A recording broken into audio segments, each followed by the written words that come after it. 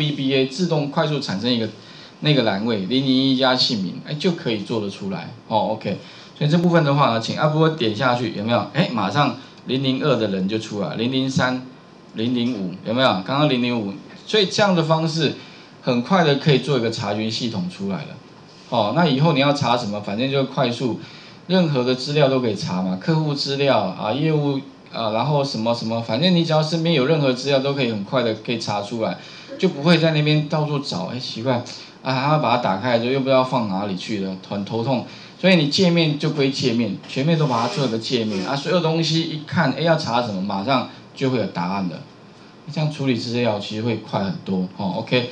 所以这边的话呢，我想各位试一下，我把重点再提示一下：一，本来旁边这边是有一个界面，你可以先在这边练习一下，再把它新增一个工作表剪下来。我是把它放在这边的哈，然后就把它贴过来。那你会想说贴过来哦，不过它很聪明哦。刚刚本来的范围里面有没有？不是在那个这个工作表，呃，就本来是换到这个工啊，你会发现它换到这个工作，它自动会再帮你在前面加一个这个。那另外你也可以哈，你我们刚刚是用选范围的，其实你也可以把什么，把这边改成什么，改成一个名称，有没有？就是说这个地方我们是指到的是这边，那其实你也可以做什么？可以把姓名有没有？可以把它改成什么？改成定义，从选取范围建立顶端列，对不对？它不就是一个姓名？它是一个编号。那你可以怎么样呢？像刚刚这个地方，我可不可以？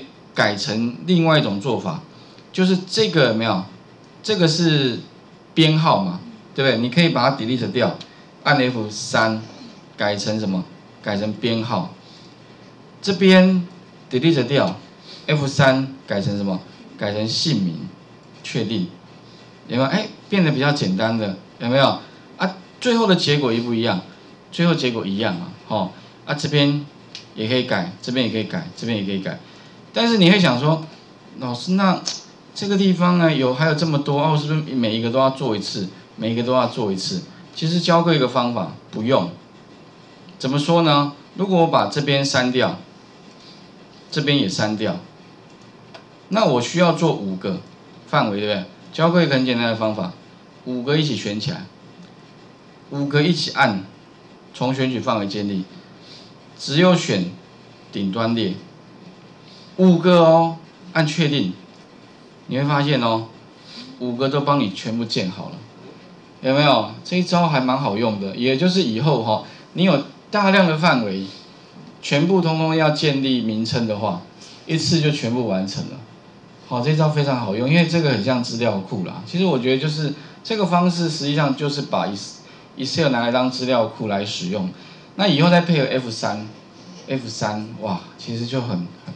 做事情就很很愉快了，为什么？因为你很快就可以抓到那个资料，你也不用管说那个资料在哪里了。好，所以这一套哦，我觉得可以让你工作起来非常的愉快，心情很好。不然有时候找不到资料是一个很头痛的事情，就跟找不到东西是一样的。好，所以有的时候像我我的我的那个桌上有时候习惯摆一个位，突然人家帮我整理，然后帮我换个地方去，让我找不到，我就心情就很不好。有没有？所以很常常会说你不要帮我动我，因为我每个人都有自己的习惯，好，所以那当然你不可能说你的桌上有个 F 三，按下去哦，它是自动把，所以以后是不是说每个东西上面如果都有一个什么呢？像现在物联网就这个概念，它会自己告诉你它在哪里，或者用什么 R F I D，不过那个可能费用会太贵了，好，比如像现在什么现在比较大型的像那个。呃，亚马逊他们在就是做一些物流的时候哦，就会自动发报它的位置在哪里了。不过那个东西可能要大型的企业才有办法做到。OK，那这里的话，我想各位试一下啊，把画面先还给各位哈。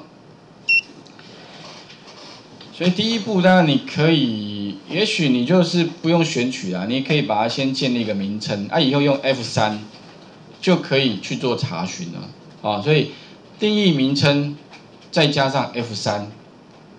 好，那如果下拉清单的话，就是顶多是资料验证啊，记得是资料验证里面的清单，然后给一个来源，以后所有东西就通通变成一个下拉清单的。好，那这些东西的话，你只要熟悉之后啊，你应该就不会用旧的方法了，哦，因为这个方法其实我觉得真的还蛮蛮好用的哈。